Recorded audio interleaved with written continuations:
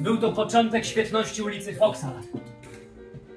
Plastycy zorganizowali niewielką stołówkę e, w starym pałacyku w zapuszczonym parku. Tuż obok dziennikarze wybudowali lśniącą od nietrwałych tynków siedzibę swego cechu. U plastyków można było zjeść tani, lecz smaczny obiad i oglądać dziewczęta ze szkół artystycznych. Wieje od niej studenckim niedostatkiem. Nieukrywanym, lecz przerobionym w akcent dekoracyjny. Tak, ubiera się na ciuchach. To od razu widać.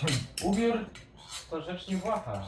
Nie ma nic wspólnego z próżnością. Właśnie. Jest metafizyczną wiedzą. Wyznacza przynależność.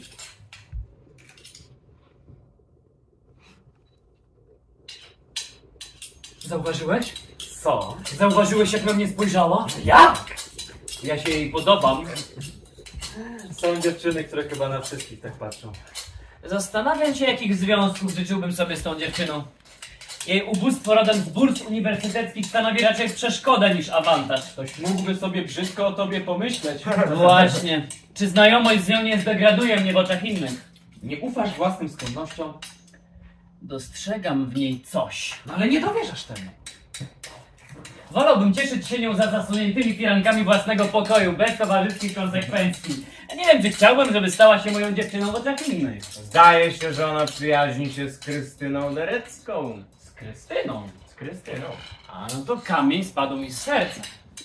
Zawsze byłem zdania, że to, co firmuje swoim nazwiskiem Krystyna Derewska, stanowi najwyższy gatunek. Dużo w życiu widziałem, lecz bynajmniej nie pochwalam tego, co widziałem.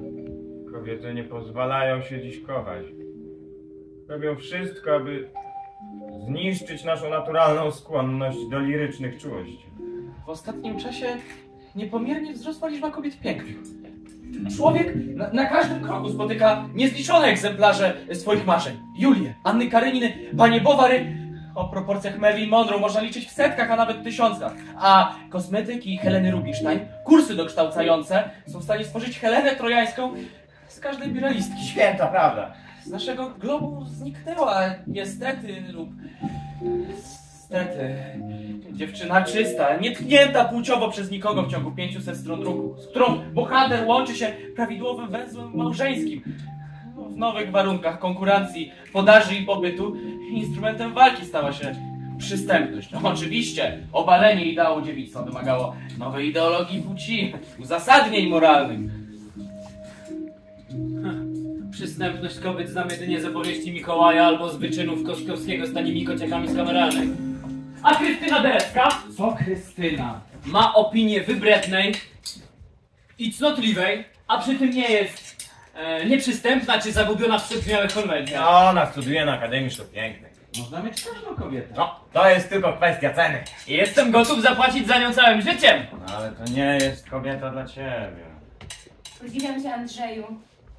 Uczyniłeś z pracowitości i wytrwałości talent. Rzadko zdarza się, żeby ktoś mógł powiedzieć o sobie, że obdarzony jest iskrą Bożą sumienności. No wiesz, że Krystyna kocha się w Mikołaju? Ta też. Niestety. Niebawem spotkałem Krystynę i jej przyjaciółkę na ciuchach. Dziękuję. Nie powtórzę.